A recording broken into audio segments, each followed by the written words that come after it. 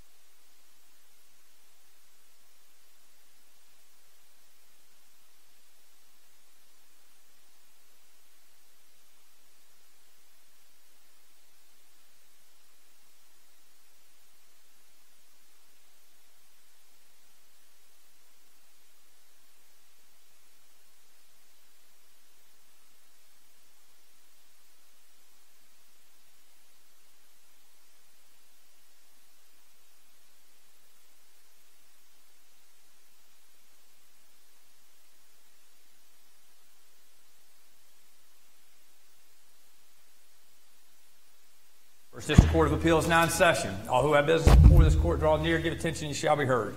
May God save the United States, the great state of Florida, and this honorable court. Okay, please be seated.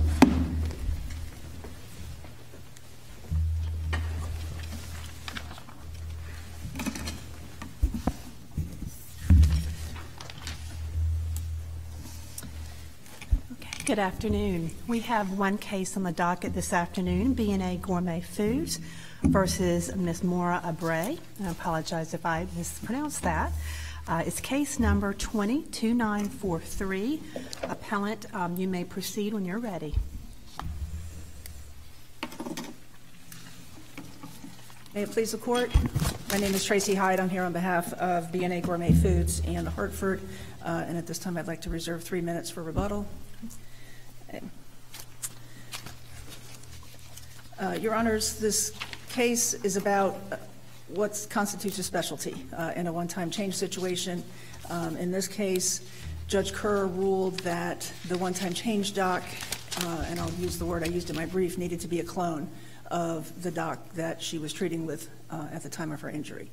And while I appreciate Myers uh, emphasizes that it needs to be the same specialty, here, Ms. Abreu suffered a crush injury to her hand.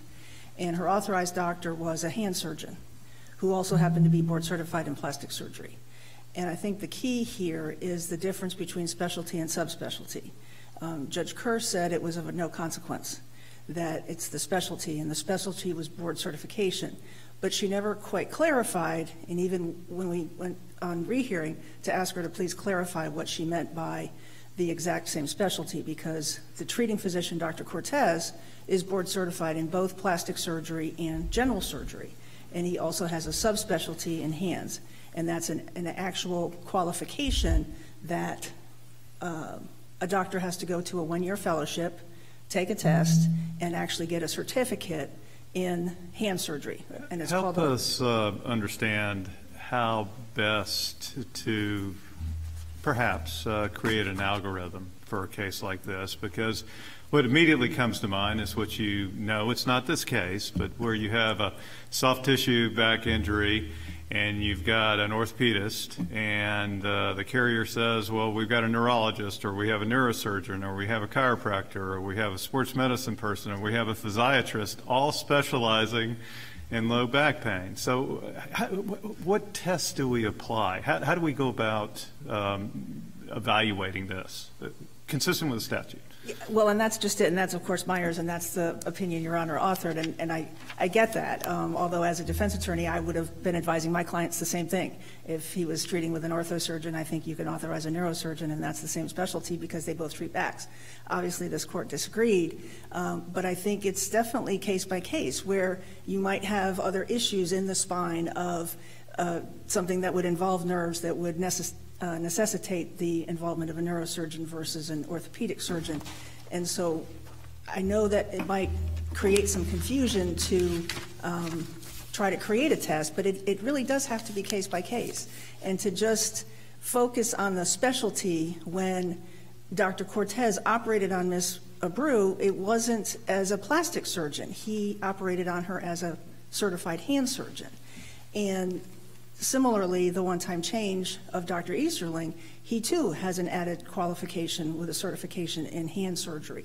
And again, doctors can operate on hands, but these two. Here you would say the same specialty would be hand surgery. Yes, sir. And that's what we argued in And our so brief. the, the analysis point would be there. Yes. Um, And I, th- and we, in our motion for rehearing, we felt like the judge was doing a disservice to the claimant by not allowing the search for the one-time change to be a hand surgeon versus a plastic surgeon.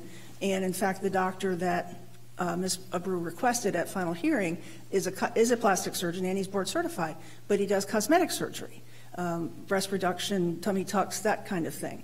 Um, And so there wasn't even um, a consideration of him as a, a hand surgeon to a woman that had a crush injury to her hand. So I just think, and I I pointed out in the briefs too, 44013 doesn't identi- doesn't define specialty. It's got 19 definitional terms in Suppose- Let me give you a a hypothetical, and I, I know you were expecting hypotheticals in this Yes, kind of issue, but let's uh, assume we have a foot injury, not a hand injury.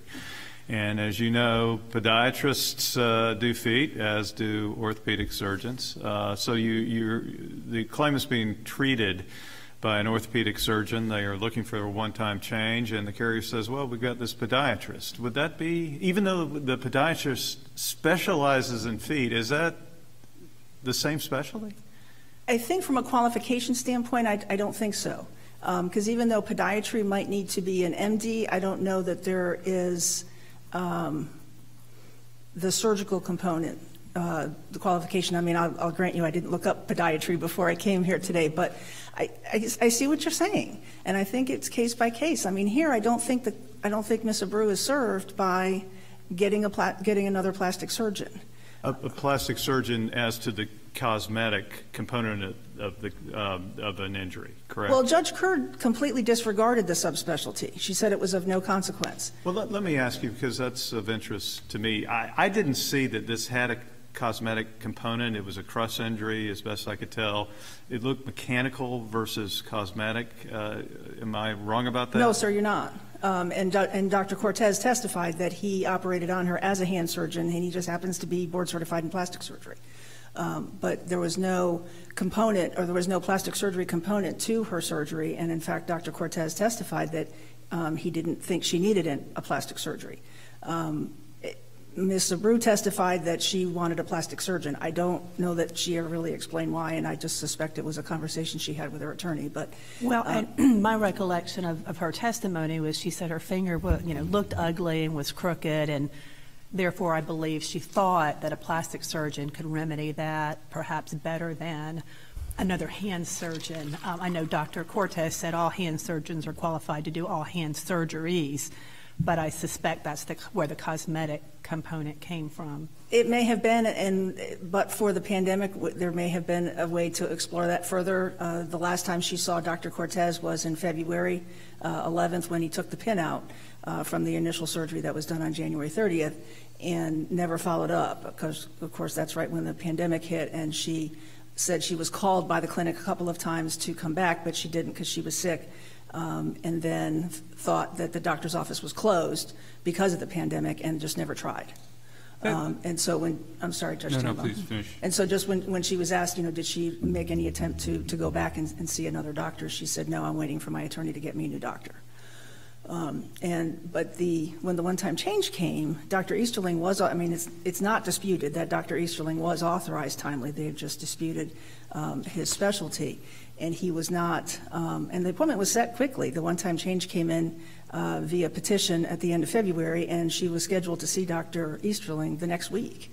And she uh, did not show, of course, on the advice of her attorney. So there may have been other opportunities, I say, but for the pandemic, to maybe uh, have done something a little different. Or uh, had she kept the appointment, even if it was under protest, she could have at least gotten some feedback on maybe what other options she might have had um, from Where a is she- different Where, where is she in the course of treatment now?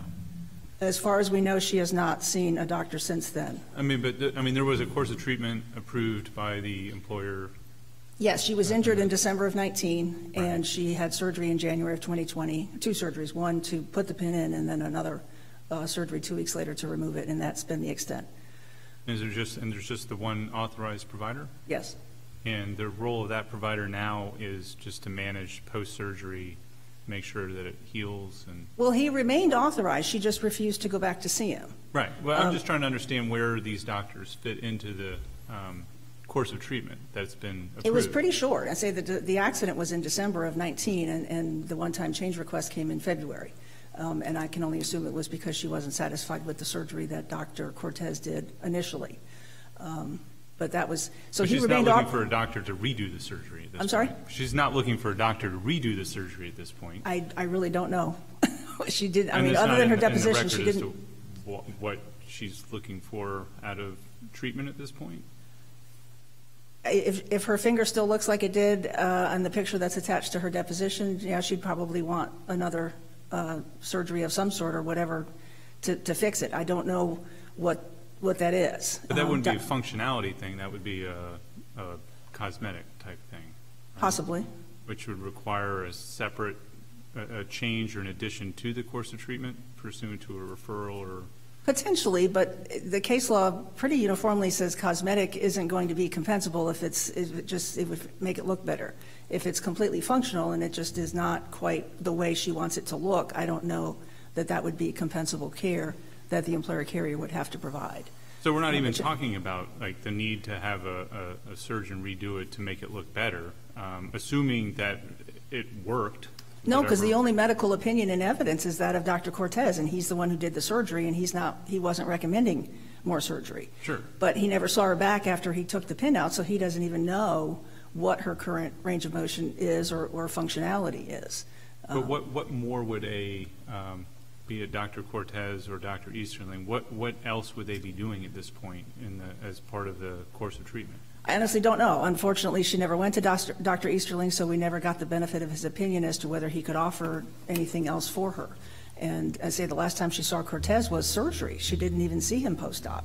Doesn't that, but that would, ultimately, that question matters in the question of like, same specialty, um, or maybe I should ask, uh, don't you, do you think it's relevant, um, what the, um, where Dr. Cortez fits in the course of treatment compared to where Dr. Easterling would fit into the course of treatment? And if you can plug one in for the other without any degradation or deviation from that course of treatment, it should be okay, right? One would, yeah, one would think, I mean, Dr. Cortez testified he didn't think she needed plastic surgery. Although admittedly, by the time he was deposed, it was, I want to say, August of 2020, and he hadn't seen her in eight months, so he had no, or six months, so he had no idea what her functionality was at that point. But at the time he removed the pin at the February 11th surgery, he wasn't recommending any other procedures. Um, But again, he was a bit at a loss as well, as by the time he was deposed, it'd been six months since he'd seen her, and he had no idea what her current condition was. Does the employee have to show that there would be a deviation from the standard of care or, um, or from the course of treatment? Or should the, or does the employer have to show um, that it wouldn't be a deviation to have this other doctor?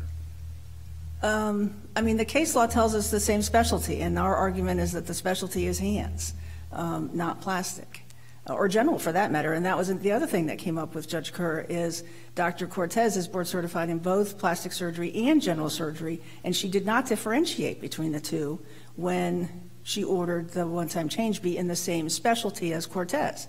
And we did a motion for rehearing, pretty much asking her to clarify, is it plastic or general or both? And she just summarily denied it. So in looking for a plastic surgeon who's also board certified in general surgery, uh, with, regardless of the added uh, certification in hands, there wasn't anybody uh, in the locale uh, near where claimant um, lived.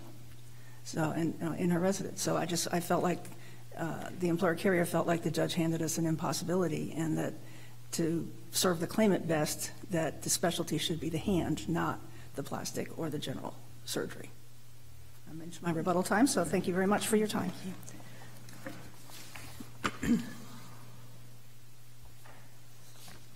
Good afternoon, may it please the court. My name is Kimberly Hill, and I'm here on behalf of the appellee, Ms. Abreu. Um, Your Honors, I think that you already did establish the algorithm for this issue in earlier case law, decisional law, wherein you indicated that it has to be a one-to-one change from specialty to specialty. Um, I, I think it's, uh, hand surgery is not a specialty. It's an add-on, it's an additional credential that three different types of specialists can accrue. Let, let me ask you about that. It, it would seem to me, logically, that what your client needed was a hand surgeon. Uh, and if she was treated by a hand surgeon, then the one-time change ought to be to a hand surgeon. And I appreciate the reality that there's not a board certification in hand surgery, there's a fellowship in hand surgery, which again strikes me as that's almost better than the real thing. And, and the reason I, I say that, and I want to ask you this, let's say, for example, um, the carrier said, well, there's a surgery background here. I'm going to refer uh, for the one-time change to a general surgeon who doesn't even do hands. They do gastrointestinal uh, surgeries. Um, that wouldn't seem to profit your client, but it would be in the same specialty. Why would that not be an argument uh, against what you're trying to tell us today? Well, because I think that you have to look to, to what you, you have already authorized in this case. So, for example, the claimant asked for a one-time change. If you're going to go with what the law says, specialty, and everyone knows a plastic surgeon is different than an orthopedic surgeon, and the subspecialty is hand, then you need to give, logically speaking, I would say you would need to give a plastic surgeon that has a subspecialty in hand. Well, why, why is the subspecialty relevant, though? If you're, if you want to look at the broad specialty category, um, why isn't the plastic surgeon enough? Why isn't the plastic surgeon enough? Right. Because there's a lot of plastic surgeons that do other things, as the same with orthopedic surgeons as well. Right, so under, so I think under your reasoning, if there was an orthopedist that specialized in spine, then it would not be appropriate to do a one-time change to an orthopedist who specialized in a knee, That's correct. correct? And- But I think that reasoning, though, requires us to kind of drill down, or the JCC to drill down and look at the specific course of treatment, the injury, and perhaps the credentials of the, the physicians, more than just kind of the label of the, um, the umbrella specialty itself, does it not? Well, no, because then that sort of recedes and muddies up the waters once again from where we were, and that was originally um, on the Myers case, for example, which was my case. In that case, the claimant was seeing an ortho spine specialist, and the carrier offered a neurosurgeon. Both can operate on backs, so um, this court said, no, that's not good enough. You need to give an ortho a one-to-one change. So if they're treating with an orthospine specialist, you need to give an orthospine specialist. I think if you take this case, then you can find other examples uh, out there where, you know, oh, this one has a specialty in feet, as, uh, as Judge Jay was saying. A podiatrist certainly does foot surgery, as does an orthopedic foot specialist. So, um, in, in other words, so it starts muddying up the waters again and causing confusion. I think that it's much easier the way the court has already um, interpreted the statute. Specialty means the specialty of the physician the claimant is treating with. You- Why, though, and, and and again, maybe it's the same question I asked a minute ago, and this is a standard definition. You can find a definition like this uh, probably across the board, but specialty means uh, a specialized pursuit, an aptitude, or skill, or the field of practice of a specialty. Why wouldn't the specialty here be hand surgery as opposed to plastic surgery or general surgery? or even orthopedic surgery. It just seems to me, again, logically, that the specialty that we're speaking about is hand surgery. Why is that not the case? Well, simply because it's not a specialty. The statute doesn't say subspecialty of the doctor, it actually says specialty. And this court always interprets the statute without adding words in and, and, um, and, the plain language of the statute. But I Act- guess that brings me back to my, my question that we were just discussing. If, if we don't want to consider subspecialties at all, we're looking only at specialty, then why would not a, you know, an orthopedist specializing in spine be an acceptable one-time change for an orthopedist specializing in knee as a subspecialty? Well, I don't say that you don't look to the subspecialty. I'm just saying, when you're asking for a one-to-one change, you have to give a doctor that, that is in the same specialty, and then also, I believe, you would have to look to the subspecialty as well. It only makes logical sense. Uh, I don't disagree with what you're saying. I think that that makes sense. So just similarly, you know, you, you wouldn't want to give somebody a orthopedist that, you know, operates on foots when, when, when they're, you know, operating on hands. I agree with that notion. But then, you know, this opens up the door for, again, no one knows what the decisions are going to be coming out, you know, coming out of the court. Like, so, for example, it's been established now through three or four different cases that it's a one-to-one change. It's the specialty that they were originally treating with, that- that's the one-time change. So. But I don't think that any of those cases have really drilled down in the nuance that, that's kind of been highlighted in this case. So um, you know, in this case, the, the, um, the form, the DWC 25, Dr. Cortez listed himself as, for physician, a hand surgeon. And that was what the one-time change the EC authorized. So, you know, why would that not be sufficient, or at least inform um, the decision on what is a, in the same specialty? Well, I mean, actually, I think the American Board of Medical Specialties sets forth what a specialty is, and a specialty is what the doctor um, went to school for and actually had the residency in. And in this case, you have a plastic surgeon who had a residency in plastic surgery and then got the extra credential by going to, you know, additional fellowship for the hand surgery, which is obviously something he it was wanted to subspecialize in. He does other things as well, but in, in this instance, that Judge Jay, No, I'm, I'm, I'm, I'm just curious. I, I have a lot of questions. Uh, the, the American Board, uh, and I have read through that, and that is certainly something in the medical profession that is well regarded. But the statute doesn't reference the American Board, and as I did a jet tour through some of the other states, some states actually reference the American Board. Um, our state has chosen, for whatever reason, um, not to reference it by name.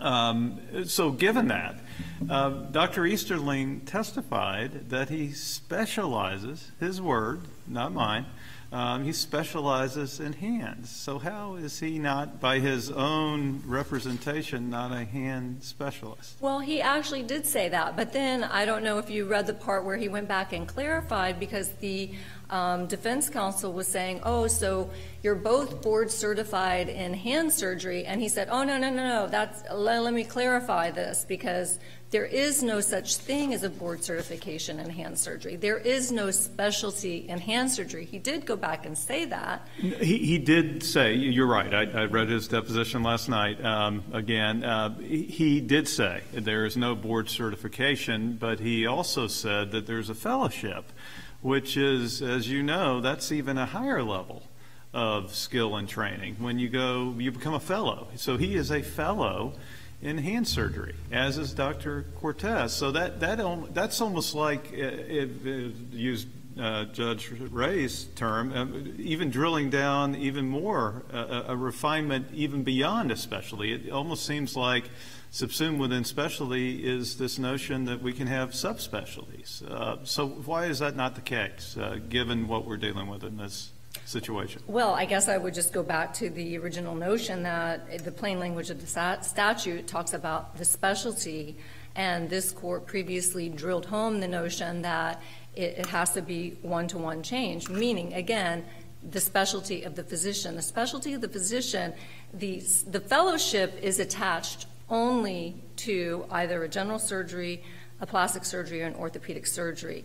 So it's attached to the actual board certification as a, you know, as an adjunct, as an add-on to, to that board certification. Well, what about the, I mean, you- you- and I agree with you, we should always be looking at the statute. I think that's a great philosophy to have. Um, But shouldn't we look at the whole statute? I mean, this is one paragraph in a larger statute that all, from my reading of it, at least uh, subsection two, is focused on ensuring that folks like your client um, get a certain continuum of care um, that has been approved and is authorized and I imagine has been accepted by your client as being appropriate for that injury, uh, to make sure that all along the way, that treatment stays at a certain level.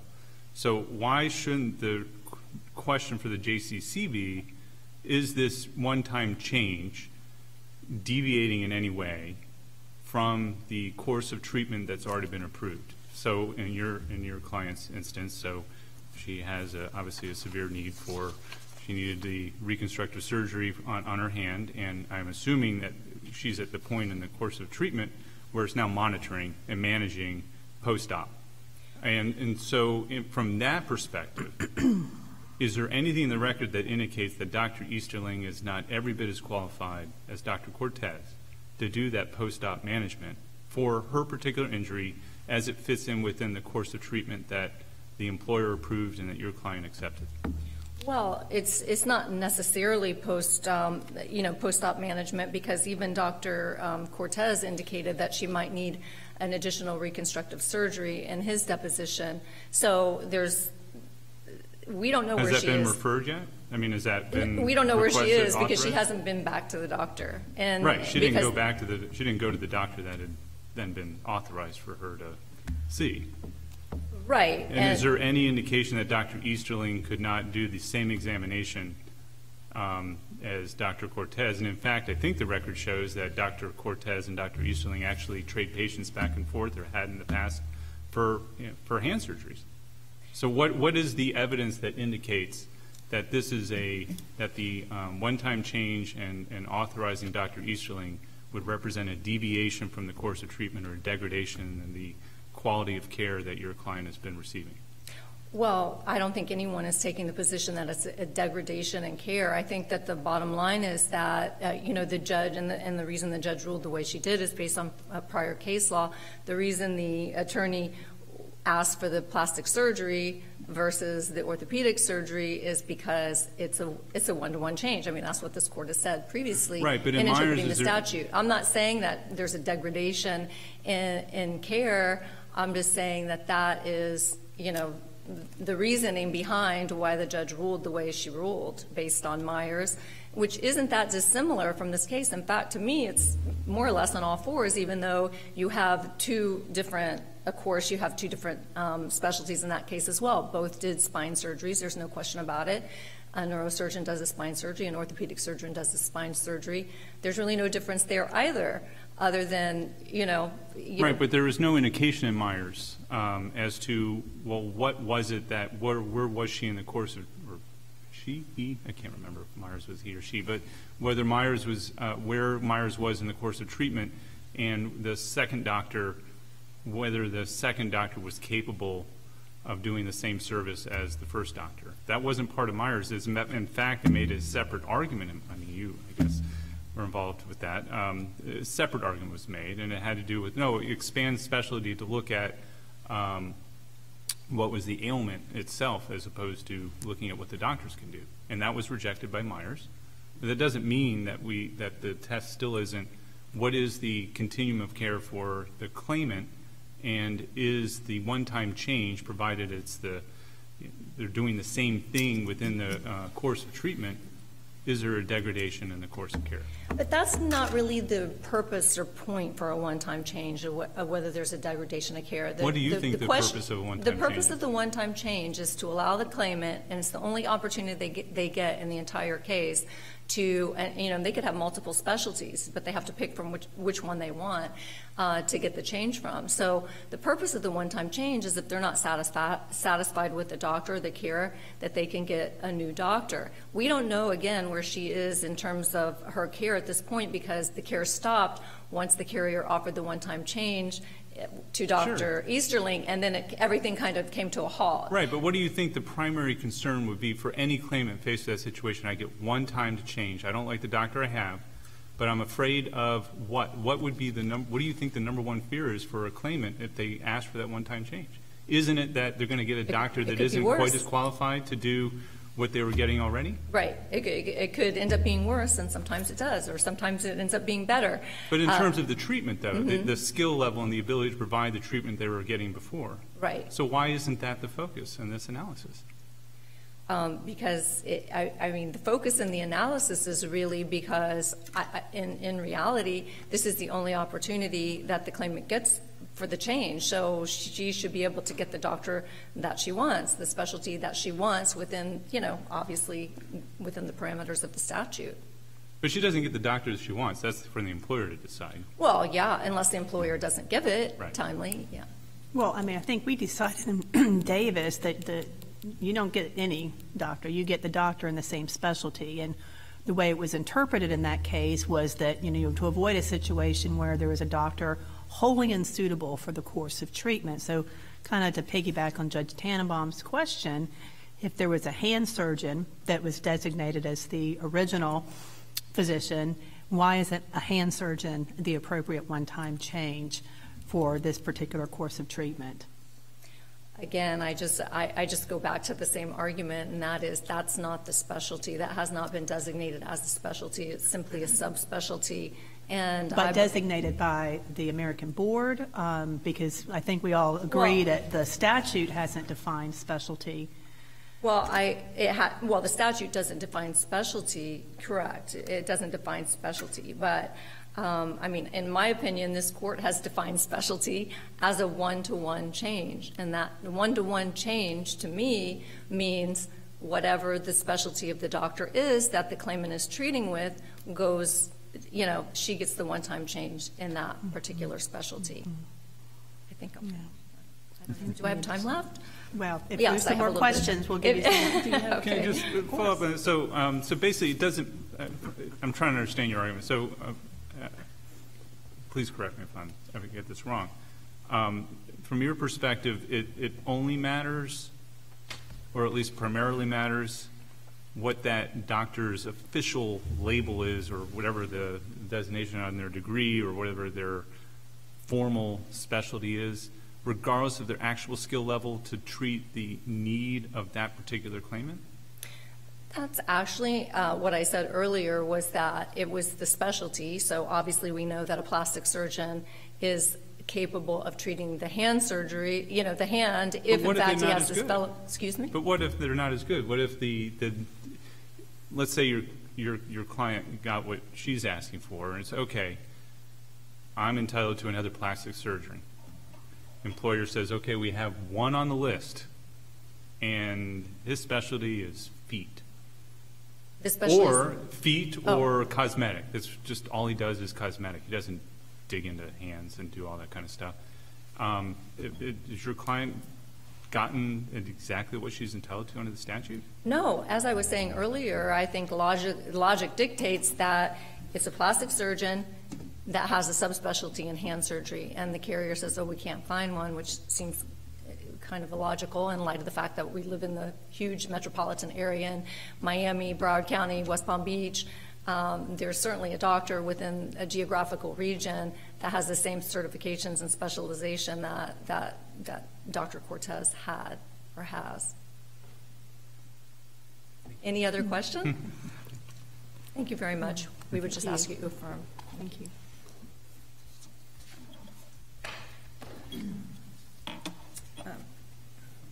May it please the court, just a a few items in rebuttal. Um, Judge Tanenbaum, Myers was a she, but I don't think, it it didn't matter I much. for Um. I think the, the key is the definition of specialty, which we don't have, uh, which the statute hasn't provided us. And so, exactly as Judge Tanenbaum indicated, um, it's this, the specialty in, in this particular claimant's case is hands. Uh, and that Dr. Easterling is an ortho, is a board-certified orthopedic surgeon that specializes in hands, and that's all he does, is from elbow to, to hand. Um, And Dr. Cortez testified that 70% of his practice was hands, and that only 30% was cosmetic. And as pointed out by Judge Ray, the doctor signed the DWC 25s as, uh, as a hand surgeon. And so, and I think in here, there's no requirement that a doctor be board certified, but the only way to get to be a hand specialist is you have to be board certified in either orthopedics, plastic, or general. And then you do the one-year fellowship, and then you take the test. So while a plastic surgeon may occasionally operate on a hand, he's not a hand specialist. And this, these doctors have taken the extra step of not only becoming board certified in a certain area, which is not a requirement for any medical doctor, but also taking the extra step, as Judge uh, Jay pointed out, um, to become a fellow and be a hand surgeon. And so I think in this case, the special, that Dr. Cortez happens to be board certified in plastic surgery because that's what he linked his, his hand certification to. He's also board certified in general surgery, and Judge Kerr didn't differentiate. So I, disagree with, with counsel that we couldn't locate one because we were also, at least according to Judge Kerr's order, required to find a doc that was both board certified in plastic and general. Right. I just want to go back to, I I think, to me, what's the crux of the issue, and Judge um, Jay asked about this earlier, is what is the analytical framework that we will be asking the JCCs um, to look at to determine whether one doctor is in the same specialty or another?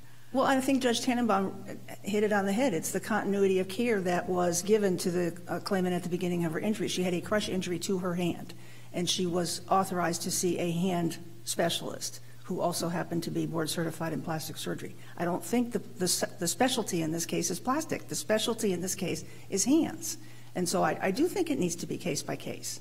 I don't, I, I, muddying the waters is not, um, it- this statute, I've been doing this 29 years now. This statute is not cut and dried. I mean, you. It's and- not, but if we look at cases like Myers, and just um, to make sure we don't have any internal conflict with our cases, how would you, under, under your, your analysis, how would we distinguish Myers? The specialty is hands, not plastic. It's, it- the statute doesn't define specialty, and so the, the, in, in this particular uh, injured worker's case, she needed a hand specialist, and that's what she got. And so I think in this case, the specialist, the specialty is hands. And while Dr. Easterling did testify that you can't get board certified in hands, you have to take a fellowship and get certified in order to be a certified hand surgeon versus just a surgeon who might operate on hands. This was the extra step. So I think the line is where it's, where the, where Meyer said similar is not the same, this is the same. They were both hand surgeons and equally qualified to, to treat Ms. Abreu. Do you agree that there's a, an extrinsic um, limitation on what an employer can authorize in a- a one-time change request? Like, the, the hypothetical I um, threw out for uh, your opposing counsel, um, we have two plastic surgeons, so one that's actually did the hand surgery for the, not just, I mean, the fixing it part of, of, of the, uh, of the operation.